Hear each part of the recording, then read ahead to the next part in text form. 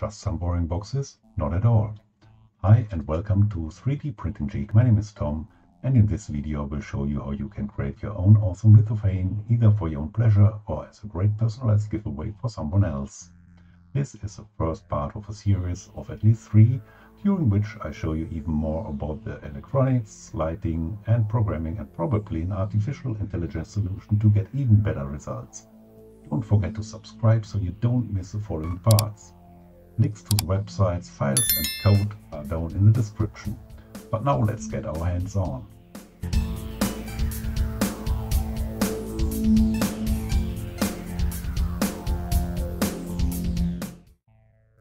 A lithophane originally was a thin translucent porcelain with a molded or etched artwork. The artwork becomes only visible when the lithophane is lit up from the back with light. Because of the different thicknesses caused by etching or molding, the light passes more or less, creating a three-dimensional image in tones depending on the thickness. A good online lithophane maker is tool ItsLitho.com, though still better. The basic idea is to take the image's color or brightness and turn that into an information for the lithophane's thickness. Here we have the tool uh, I mentioned. Tools, ItsLitho.com and uh, this is a page you see when you go to the URL. But uh, first I want to upload my image and I want my Albert Einstein image which I cropped already. Now that the image is uploaded we can go to the edit pane and change settings if we want. Um, on the right side we have a preview of the image. For instance, we could change the blur, uh, which might help uh, reduce very fine um, structures which may be harder to print or not come out as good as we would like it, but I leave it that way. Then we go to the model pane and here I want to set the size of the inner size of my box where I want to put the lithophane in. And my box has an inner width of 90 millimeters.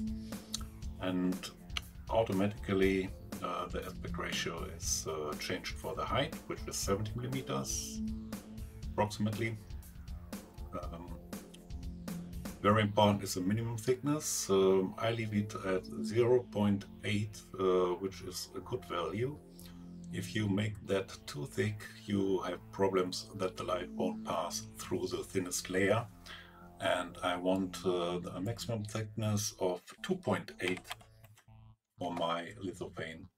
In the right, you can see the preview. You can zoom it in with the scroll wheel of your mouse and you can uh, rotate with the left mouse button and as well panning with the right mouse button. Um, next what I change is uh, I don't want a frame around the lithophane, I want a border and I want my border only to be 2 millimeters because that's uh, the wall thickness of my box. So that I can put the lithophane face down onto the top of my box. That's all uh, what, what I need to change to get the first lithophane. If you look close, you see that the gray values are translated into the height information that's going to be exported as an STL when you click on the download button. It's uh, easy, you can choose either lithophane and attribute, uh, what is, uh, which is uh, the same as uh, lithophane only for this case. I think attribute will come into play when uh, you choose a color image or something like that.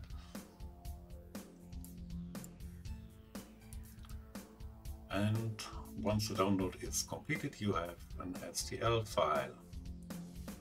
Now we have to load the saved lithophane into our slicer. In this case it's Cura and uh, laid flat on the platform so that we can print it. And my settings to print the lithophane with uh, ESUN PLA plus cold white are 0.1 millimeter layer height and a temperature of 220 degrees for the extruder and 50 degrees for the bed. I reduced the fan speed a little bit to reduce warping and I didn't use build plate ex, uh, adhesion except of a skirt and the infill was set to 100% but you can experiment with infill.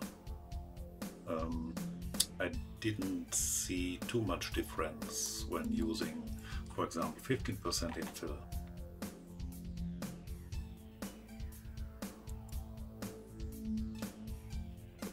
hold the lighting for the lithophane, I created a small box in Fusion 360 and this is the bottom part with some small notches where the top part will fit in. And the top part looks like this. And you can see the border here and when we make a section analysis then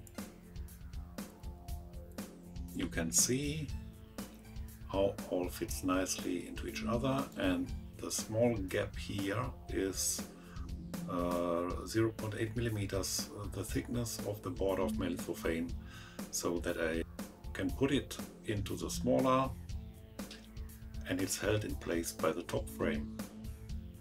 These are all the parts needed to build our lithophane box. We have as a controller an ESP32, WS2812B RGB LED light strip and our printed lithophane and now it's easy to put all together.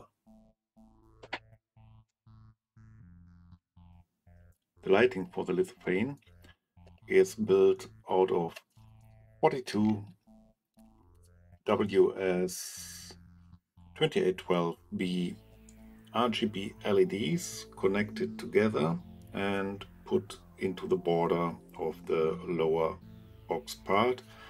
I fed the wires through the hole so that I can connect my ESP32 to it. ESP32 gets connected uh, to the 5 volt line to the ground line and uh, the data line is connected to GPIO 12. Now we need a program to control the strips. Now let's go through a very easy program to get our lithophane box lit up very easily. Uh, here you see um, the Arduino IDE and uh, I will just go through the code. We need to include the Adafruit NeoPixel library to access the functions we need uh, for the WS2812B RGB strip. Next I'm defining the pin I use on my ESP32, which is uh, GPIO 12, defined here. The number of pixels of my strip is 42, which I define here.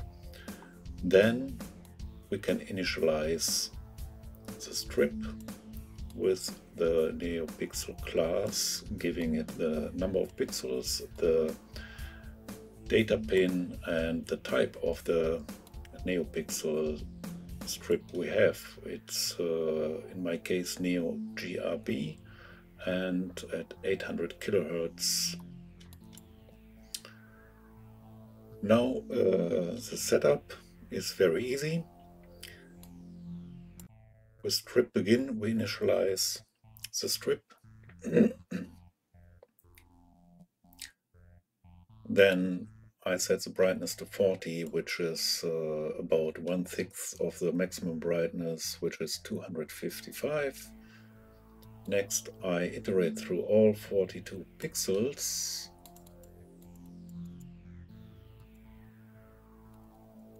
So let's put our constant in here.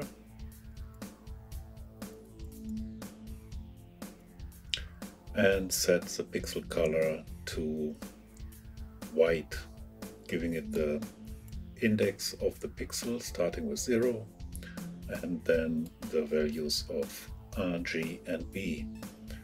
And finally um, we have to call strip show which will push all the data to the strip at once and turn it on. In the main loop I do absolutely nothing, just a short delay, but that would work without a delay as well I guess.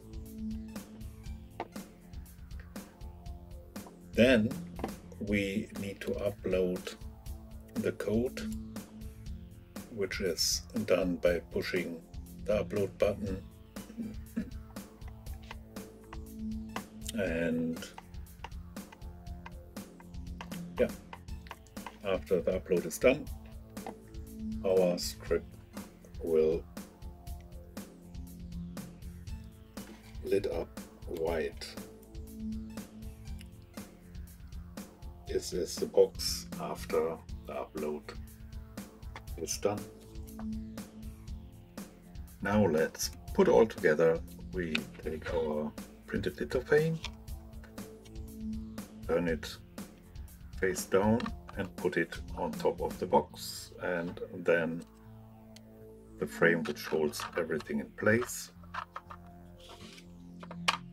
will be pushed.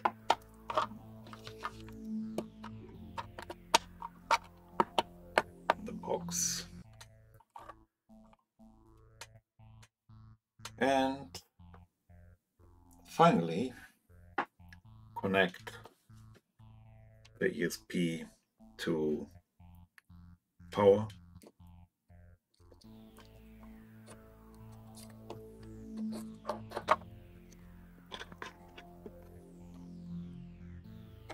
So that